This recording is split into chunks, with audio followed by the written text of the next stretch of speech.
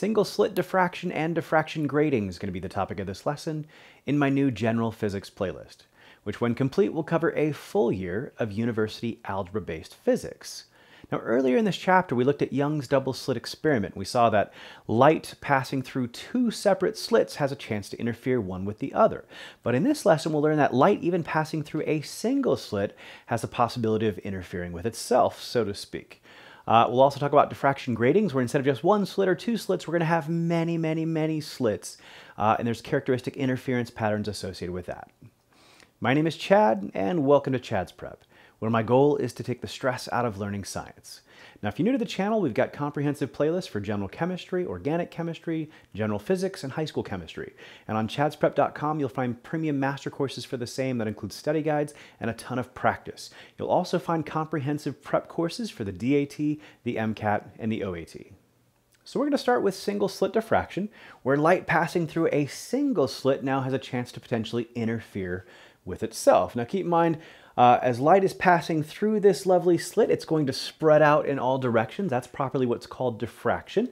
So, but this light has a fixed finite width. So, and it's usually on the order of a fraction of a millimeter, and while that might seem small, if you compare that to the wavelength of light on the order of like 400 to 700 nanometers, it's actually rather large, and there's room for many, many, many light waves to be passing through all at different locations. And with many passing through and then spreading out in all directions, that's where there's a chance for interference.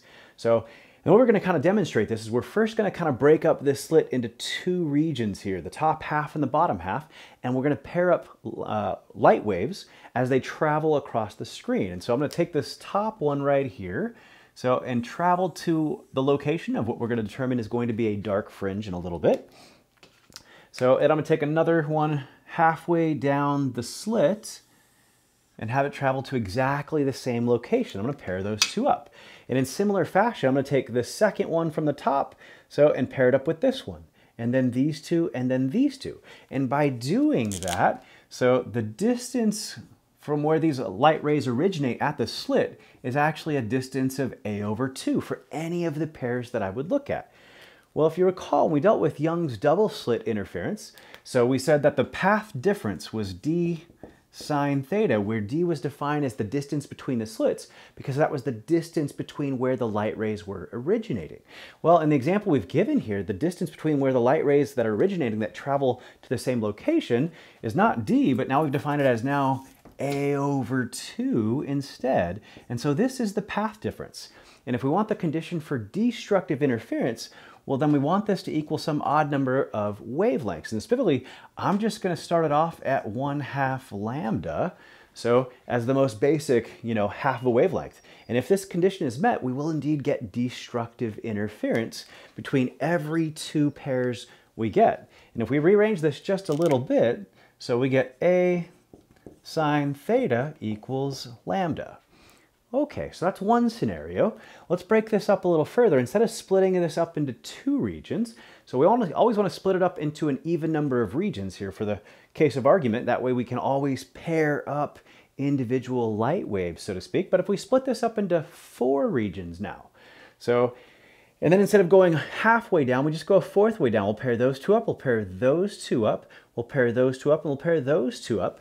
So and in such fashion, now all of a sudden, instead of having a distance between the ones we're pairing up of a over 2, we'd have a distance of a over 4.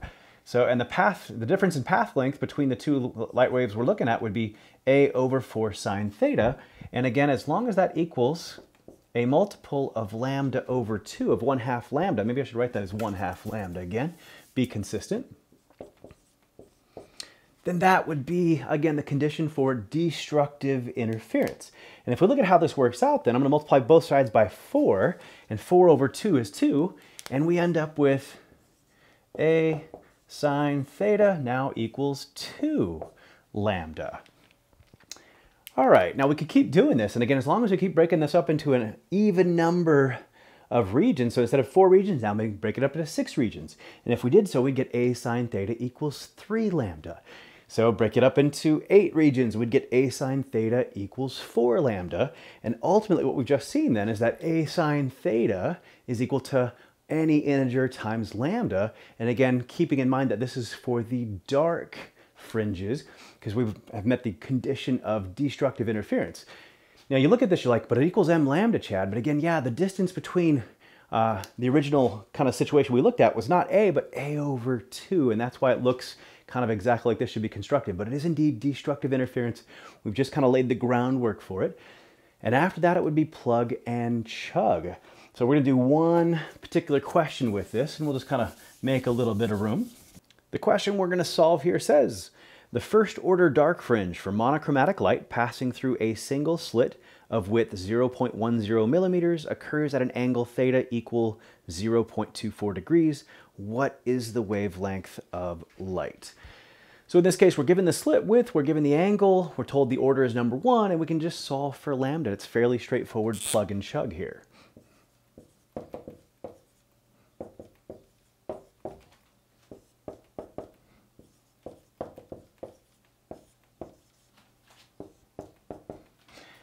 So I want to make sure we get our units correct here. So A here is 0.1 millimeters, but in meters, that's going to be 0.1 times 10 to the negative 3 is usually how I would look at that. That's obviously not proper SI, but that's how I will plug it into my calculator here. So times the sine of 0.24 degrees all over 1. So we'll figure out what this is to 2 sig figs. Like I said, I will really plug this in as 0.1 e to the negative 3 times the sine of 0.24 degrees. And it comes out to 4.188 times 10 to the negative 7, which in 2 sig figs would be 4.2 times 10 to the negative 7 meters. So, which might also be given in this case as 420 nanometers which kind of corresponds towards that violet end of the spectrum. So now we'll take a look at diffraction gratings. So and a diffraction grating ultimately has many, many, many slits that are a fixed distance d apart in this case. Uh, and ultimately, you're then going to have light passing through multiple slits, all traveling from multiple different slits to a common location and possibly resulting in interference. So let's kind of take a look at this. So let's say we've got light passing to a common point, and let's just make this to this lovely point right here from that slit, from that slit, and from that slit, so on and so forth. And this gets complicated in a hurry, but we can reduce the problem significantly by just focusing on two adjacent slits. That's it, ignoring all the rest for just a second. Well, that would result back to just kind of Young's determination for the two slit experiment, in which he said that d sine theta equals m lambda corresponding to the bright fringes. So, and we're going to focus only on the bright fringes here, but that would be the requirement. Well, that would be true for these two slits, or these two, or these two, or these two, or any two adjacent slits. And all of a sudden, you can kind of expand what you've done for any two adjacent slits. And if it applies to these two and it applies to these two, then it applies to all three. And you can kind of just spread it out across the board. And all of a sudden, we've kind of derived a general formula, looking just like Young's double slit experiment result, uh, for the specifically bright fringes from a diffraction grating.